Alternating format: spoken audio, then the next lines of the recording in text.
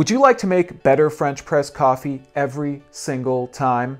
Well, follow our 10 easy tips today to help you learn how to make better French press coffee with every brew.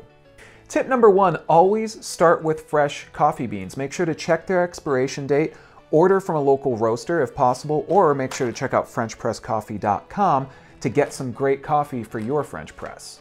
Tip number two, always grind your coffee beans right before you brew to ensure that you get the absolute best flavor out of your coffee. Tip number three, always use the proper grind for your coffee beans. You'll want to use a great grinder to grind your coffee, such as a conical burr grinder. Don't use a grinder that has blades that you would usually use for grinding spices and things like that. You want to get a grind that is similar to coarse ground salt or even better, breadcrumbs.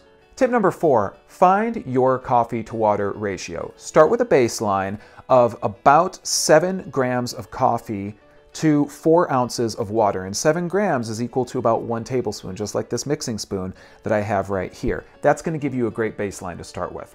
After that, you can adjust your coffee up or down depending on the flavor that you, that you would like.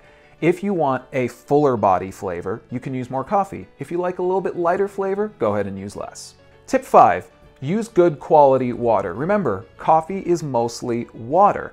Don't use reverse osmosis or distilled water. Those minerals are important in getting the flavor of your coffee just right. Tip number six, always use the right temperature water. You're gonna wanna use water that's about 195 degrees to 205 degrees Fahrenheit and don't use boiling water. If you do not have a thermometer, and you should have one to be able to measure your water temperature, but if you don't, boil some water and then leave it sitting for about one to two minutes. It'll be just the right temperature to give you a great brew. And bonus tip, if you would like to get less bitter coffee, go ahead and use the lower temperature water. Use about 195 degrees Fahrenheit and also lessen your brew time from about four minutes to three minutes. And we'll mention some more information about that in one of our next tips. Tip number seven, preheat your French press and your mug for about one minute before brewing. This is important because this will keep your coffee hotter longer. And in our tests, a preheated French press and mug will typically yield coffee that's going to be about 10 degrees hotter on average. That means coffee that's going to be hotter, longer, and after all, who likes warm coffee? Tip 8. Brew for 4 minutes if you want a great cup of French press coffee. If you would like your coffee to be a little less bitter, brew for about three minutes, but no less. And always, always do not brew for any more than five minutes. Tip nine, don't let your coffee sit in your French press, especially on a hot plate. This is just going to over extract the flavor and it's gonna give you bitter coffee and coffee that's just simply not going to taste good.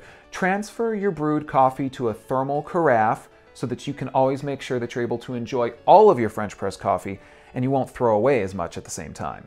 And finally, tip number 10, always clean your French press after each use. And you'll want to check out our video hack that will show you just how you can do that with fast and easy tips. Did we forget a French press tip that you think that we should know? Make sure to tell us. We always love to hear your French press tips.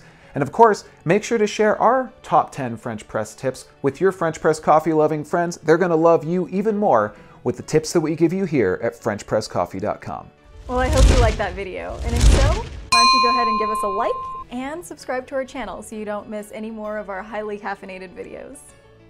And if you subscribe, I'll give you a nice coffee quote. Go on. I'll wait.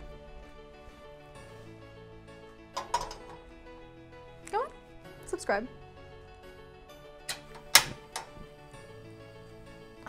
There you go. Thank you so much.